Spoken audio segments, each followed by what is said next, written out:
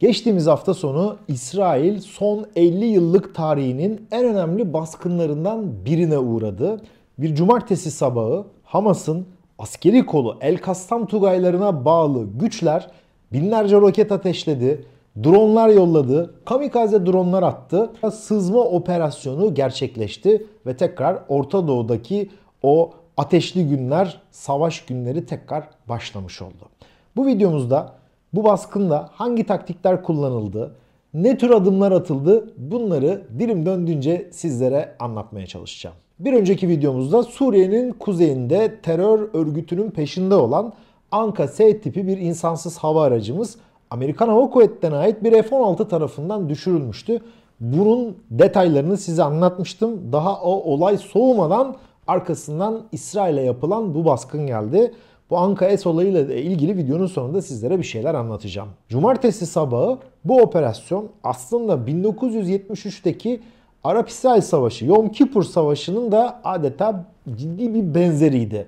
Çünkü o gün İsrail'de bir dini bayramdı ve birçok kişi tatile girmişti. Ordu biraz daha rehavetle e, o dönemdeki nöbetlerini tutuyordu ve El Kassam çok ciddi bir saldırı başlattı. Bu saldırıda ilk gün 2000'den fazla roket atışı gerçekleştirildi. Bu roketlere baktığınız zaman farklı farklı özelliklere sahip. Örneğin bu roketlerden bir tanesi Kassam. Menzili 10 kilometre. Kudüs 101 roketi var 16 kilometreye çıkıyor. Grad veya WS-1'ler 55, M75 75 kilometreye, Ferc veya J80 roketi 100 kilometreye, R160 120 kilometreye ve M302 roketi de 200 kilometre menzile kadar çıkabiliyor. 200 kilometreyi koyduğunuz zaman Gazze şeridi ülkenin güneybatısında İsrail'in o kuzeyine Suriye sınırına kadar atış anlamına geliyor. Bunlar güdümsüz roketler, basit düzeneklerle e, çok basit bir şekilde atılabiliyor. Üretimi kolay ve ucuz. Ama bu roketlerin karşısına da İsrail demir kubbe olarak kamuoyunun e, tanıdığı bir hava savunma sistemi geliştirmiş durumda. Roketin ateşlenip gökyüzünde yükselmeye başlamasıyla birlikte yoğun bir radar e, grubu bu füzelerin atış noktasını tespit ediyor.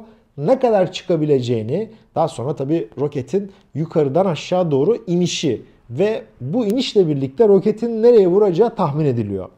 Ateşlenen demir kubbenin füzeleriyle birlikte bu roket havada vurularak etkisiz hale getiriliyor. Bu e, uzun yıllardır İsrail'in başarıyla uyguladığı hatta farklı farklı ülkelere de hava savunma sistemi olarak ihracatı satışı yapılan bir koruma sistemi. Fakat aynı anda binlerce roket ateşlendiği zaman demir kubbe yetersiz hale geliyor. İlk gün İsrail kaynaklarına göre 2000, Hamas'ın verdiği bilgilere göre 5000 civarında roket ateşlenmiş. Bunların hepsinin demir kubbe tarafından bulunması ve vurulması çok zor. İsrail hava sahasını demirle bile kaplasanız bu kadar çok roket atışı sonuçta buradan çok rahat bir gedik oluşturabiliyor. Ve bu roketler güdümsüz olduğu için yaklaşık bir vuracağı yeri tahmin ediliyor. Bu şekilde işte belirli bir açıyla, belirli bir noktaya bakarak ateşleniyor. Ve çok sayıda ne yazık ki sivilin ölmesine de neden olmuş durumda. Ve tabii ki İsrail'in de verdiği ağır karşılık iki tarafta da sivil kayıpların oldukça yüksek olduğunu belirtmemde fayda var. Bu roketler sayıları çok olduğu zaman İsrail'in elindeki demir kubbede kullandığı roketler muhtemel yetmiyor ki bir üst seviyeye yani Amerika'dan alınan Patriot füzeleriyle bunlara karşı ateşleme gerçekleştirilmiş. Patriot füzesi demir kubbeye göre çok daha birim maliyetleri çok daha yüksek füzeler ve bu konuda da İsrail çok ciddi sayıda füze geldiği zaman bunları bertaraf etmekte zorluk çekiyor. Hatırlayacaksınız geçmiş videolarımızda bu sistemlerin lazer ile nasıl vurulur, ne yapılır bunlarla ilgili ne tür sistemler geliştiriliyor sizlere anlatmıştık. Ama muhtemel herhangi bir işte lazer atışı bunların bertaraf edilme görüntülerini bu saldırılar sırasında göremedik. İkinci konu özellikle drone olarak adlandırılan Ukrayna Savaşı'nda gördüğümüz çoğu ticari amaçla geliştirilmiş bu drone sistemleri bir şekilde karşı taraf e, topraklarına giriyor. Taşıdığı havan veya çeşitli mühimmatlar atarak askeri noktalar, tanklar, zırhlı araçlar vurulmaya başlanıyor. Burada da en son bunun örneklerini Ukrayna Savaşı'nda yoğun olarak görmüştük. Keza yine Rusya'nın kullandığı, İran'dan aldığı kamikaze drone sistemleri, işte bunları fırlatabilmek için ufak katapult sistemleri işte bir kamyonetin üzerine korabiliyor. Bir binanın içerisinden gizlenip kamufle edilmiş noktadan atılabiliyor.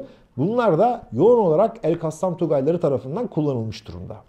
Bunların örneklerini en son Ukrayna Savaşı'nda gördük. Ve bu dronlarla atılan havan veya patlayıcı bırakıyor.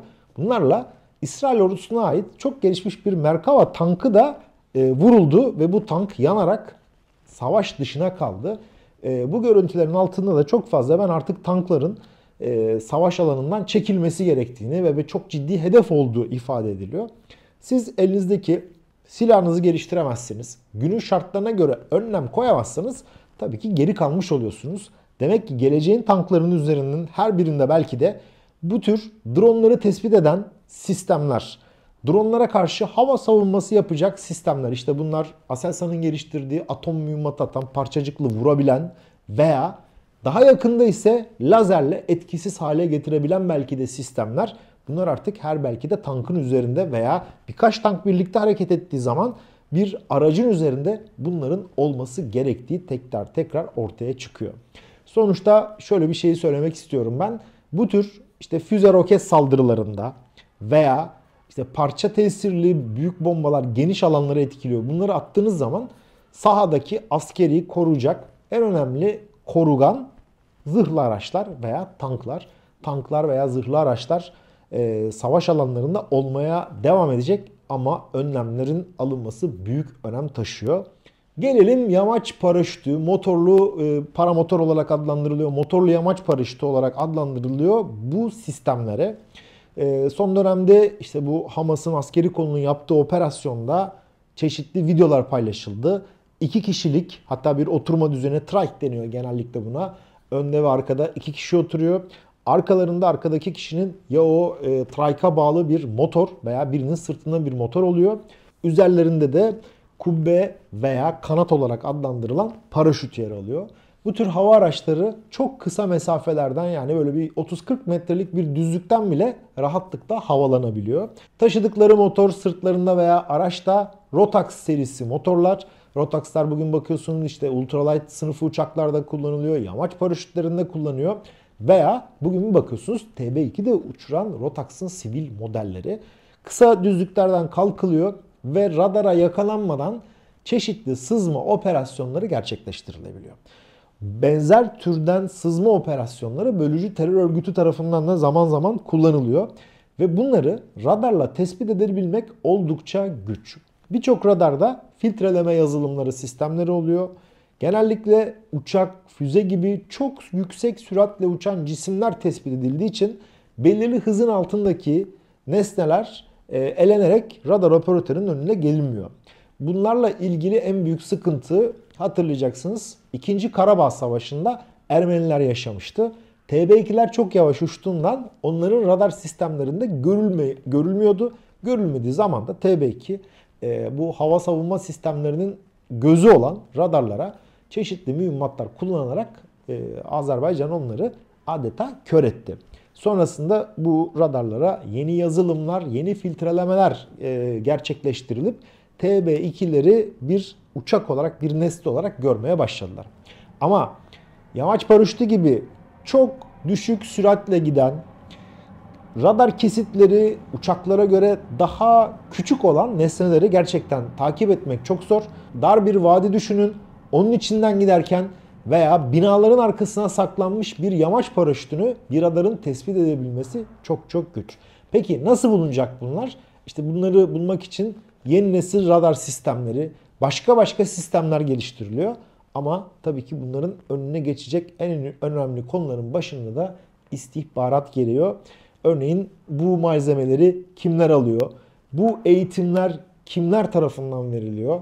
Nasıl bir rota izleniyor? Bunlar gibi konular tabii ki çok daha fazla detaylısı istihbarat tarafından yapılıyor. Evet dilim döndüğünce size bu son baskınlarla ilgili neler yap- yapıldı, neler yaşandı anlatmaya çalıştım. Ee, videonun başında da söylediğim gibi geçtiğimiz bir önceki videoda da Suriye'nin kuzeyinde uçan Milli İstihbarat Teşkilatı'na ait Anka-S tipi insansız hava aracımız Amerikan Hava Kuvvetleri'ne ait F-16 tarafından düşürülmüştü. Bazı arkadaşlarımız yorumlar yazdılar. Bana mail attılar. İşte sen incirlikten kalktı bu uçak dedin diye. Arkadaşlar videomu izlerseniz ben bunun iddialardan biri şeklinde altını çizerek söyleyip bunu ifade etmiştim. Uçak incirlikten değil, Ürdün'de bulunan Amerikan üssünden kalktı. Amerikan kaynakları tarafından ifade edildi. Tabi bunlar bir resmi kaynakta yer almıyor. İncirlik açısından Türkiye 15 Temmuz darbe girişiminin arkasından Ağustos 2016'dan itibaren Amerikalıların bölgede kalıcı olarak savaş uçaklarının durmasına izin vermiyor. Bunun da önüne geçilmesi için Merzifon'da 5. Anajet Üst Komutanlığımızda 2 F-16 filomuz vardı. O filolardan biri İncirli'ye intikal ederek bölgedeki işte KEP olarak adlandırılan silahlı devriye uçuşları, hava hava hava savunma görevleri buradaki filomuz tarafından gerçekleştiriliyor ve sadece İncirli'ye Amerikalılara ait tanker uçak, nakliye uçakları iniş kalkış gerçekleştiriyor. Ağustos 2016'dan sonra da e, bu konuda Amerika'nın politikaları değişmiş durumda. Ya Yunanlıların Girit üssünü bölgede kullanıyorlar ya da Ürdün'deki Ürdün Hava Kuvvetleri'ne ait meydanı. Bu meydana da e, Amerikan güçleri çok ciddi bir altyapı yatırımı gerçekleşmiş, gerçekleştirmiş durumda. Evet bu videomda size Hamas'ın yaptığı askeri operasyonlardaki detayları paylaşmaya çalıştım. Nasıl bir bakış var, hangi teknolojiler kullanılıyor bunları size dilim döndüğünce anlatmaya çalıştım. Bir sonraki videomuzda görüşmek üzere. Herkese sağlıklı ve mutlu günler ama tabii ki sivil halkın zarar görmeyeceği barış dolu günler diliyorum.